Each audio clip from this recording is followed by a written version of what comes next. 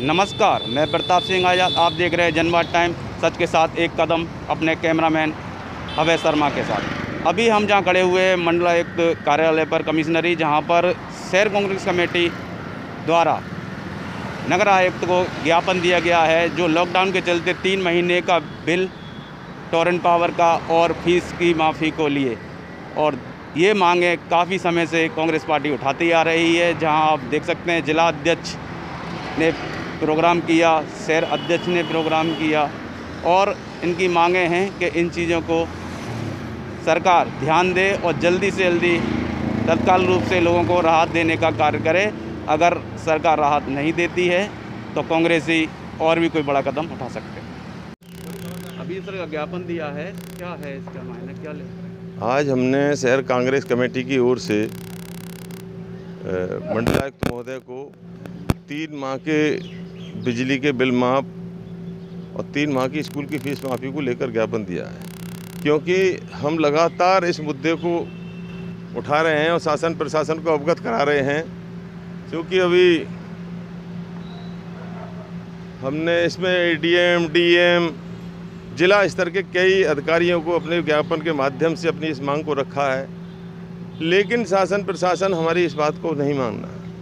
हमने आज वरिष्ठ साथियों से विचार विमर्श करके ये तय किया कि आज मंडला महोदय वो हमारे पूरी कमिश्नरी के मालिक हैं और टोरेंट पावर की भी जो कमेटी बनी है, उसके चेयरमैन हैं। इनसे क्यों ना अपनी बात को रखा जाए? तो आज इनसे अपनी बात रखने आए थे।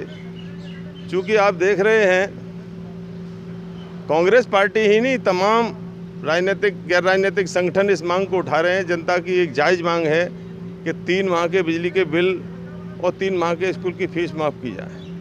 ये कोई परमानेंट मांग नहीं की जा रही कि हमारी हमसे निःशुल्क बिजली दी जाए या निःशुल्क बच्चों को पढ़ाए। तीन माह की बात है।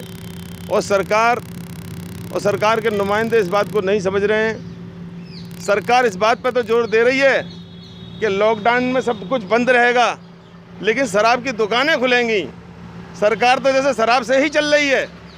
सरकार शराब पर इतना ध्यान दे रही है इसका मतलब ये महसूस होता है कि सरकार शराब माफियाओं के दबाव में ये कार्रवाई कर रही है। हमारी इतनी जनता की मांग को नहीं मान रही है सरकार। शराब माफियाओं की बात तुरंत मान ली गई। इसका मतलब बाबा योगी आदित्यनाथ जी शराब माफियाओं के इशारे पर इस प्रदेश को चला रहे हैं और इस तरीके से इस प्रदेश में जो गुंडागर्दी बढ़ रही है, रोज़ हत्याएँ हो रही हैं। गाजियाबाद में पत्रकार को दिन दहाड़े गोली मार दी गई।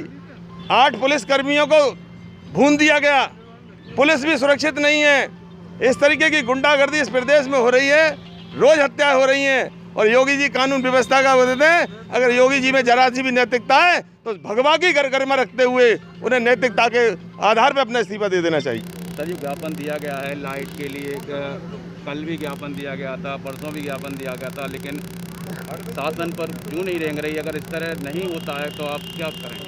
अभी हम लोग अपनी मांग को प्रशासन स्तर के माध्यम से पहुंचाना चाहते हैं। अभी हमारा अगला कार्यक्रम सात दिन का धरने दे करके शासन को फिर अवगत कराने का है। यदि उसके बावजूद भी अगर शासन, प्रशासन ने इन बातों को ध्यान नहीं दिया, इस जायज़ मांग को मानना नहीं माना तो कांग्रेस जन सड़कों पे आकर के और आंदोलन करने के लिए बाध्य होंगे और उसकी सारी ज़िम्मेदारी शासन, प्रशासन की होगी।